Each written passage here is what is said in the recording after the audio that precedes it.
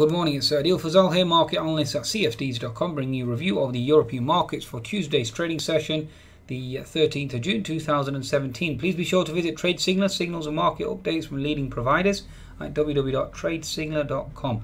Okay, now let's look at the actual stats first. Asian markets overnight certainly bouncing back, uh, except the uh, the Nikkei. Uh, Shanghai up 0.44, Hang Seng up as well. The Nikkei uh, actually more or less flat but negative. Uh, certainly not uh, carrying on with the potential reversal in US equities. The Nasdaq certainly bounced up sharply off the pivot low, whilst the um, S&P certainly has pushed to new highs again. I mean, if we bring up the S&P 500, the weekly chart certainly remains strong. Uh, 10 minute chart certainly pushing. I mean, we've broken up 25, uh, 24, 33 now. So an impressive thrust on the S&P 500 nevertheless. Okay, now in terms of uh, European markets at present, let's see what the stats are here. Just give you a recap. FTSE up 9 points, even though we have concerns ongoing concerns with regards to political chaos.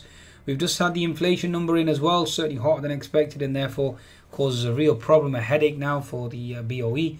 Uh, obviously, uh, argument there now with regard, even with uh, oil prices declining as well. One of them would have thought that uh, inflation obviously would have tamed a bit, but it hasn't, unfortunately and it certainly seems like the uh, BOE is on course now to potentially raise rates and certainly uh, slant towards a hawkish nature, which in turn is definite, definitely a negative for equities. Okay. Uh, also, with regards to a hard Brexit, uh, one would argue that uh, sterling would obviously fall. With a soft Brexit, sterling starts to rise. Okay, so some sort of mutual agreement certainly has already been linked with regards to the Tories and the uh, Labour Party having secret talks in the Daily Telegraph. So again, certainly take that on board. The German DAX certainly higher today on the back of obviously the bounce in the Nasdaq. The French CAC higher as well with regards to uh, employment numbers coming in stronger than expected. Eurozone and uh, German ZEW numbers both coming strong, stronger than expected. Although we have had Mr. Schäuble potentially talking up uh, the euro and also the Bundesbank indicating a potential rate hike going forward or potential tapering as well. So let's just take that on board. Let's uh, certainly take that into consideration too. Okay, so that's where we stand. Uh, in terms of economic data, other than that, have I really missed anything? No. I think the highlight this morning has been the stronger inflation reading from the UK. Obviously, German and uh, EU ZEW numbers coming in stronger than expected. We've had uh, US business optimism coming in stronger, and we're looking forward to inflation data from the US. Red Book, really not much of a market mover. Uh, PPI will be interesting. Okay, we've got API uh, crude data at uh, half past nine, so again, watch out for that that certainly will be a market mover given the fact that oil now equals inflation. In terms of the uh, index, let's just bring up the German DAX for you folks. Okay, daily chart at the moment still holding that double top at 12,840. Therefore, uh, provided we hold that, bias remains bearish. 60 minute chart on the German DAX, we're still oscillating between this key support here at 12,660 and resistance at gap fill at 12,820. 10 minute chart at the moment certainly languishing to a large extent, certainly capping, uh, certainly being capped at this uh, 12770 zone, okay, 12760 zone. We have an unfilled gap below, so let's keep an eye out for that, okay. And we still have an unfilled gap above as well at 12815, so again, keep an eye out for that in terms of the next move there. Moving on to the French CAC. Okay, daily chart of the French CAC. As always, we start off with the larger time frames uh, certainly just consolidating. We are holding that key support though, and mind, bear in mind, stronger employment data today as well, certainly helping the French economy.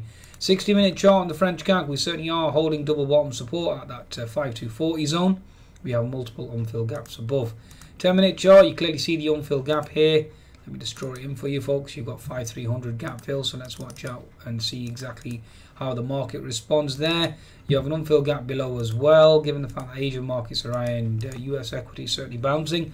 You one would have argued you, you are looking for that potential gap above to close, especially with stronger employment numbers from the French economy today. Also, with regards to Macron as well, certainly uh, overwhelming majority in terms of his win.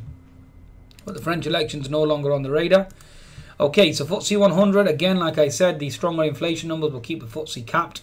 Okay, certainly any rally on the FTSE certainly will be subdued and subjugated. You have the unfilled gap at 7512, support at 7507, support seen at 7495, and then support seen at 7480, and then ultimately gap fill at 7450. So, from my perspective in terms of trading, given the stronger inflation reading, any any pop on the FTSE is a short.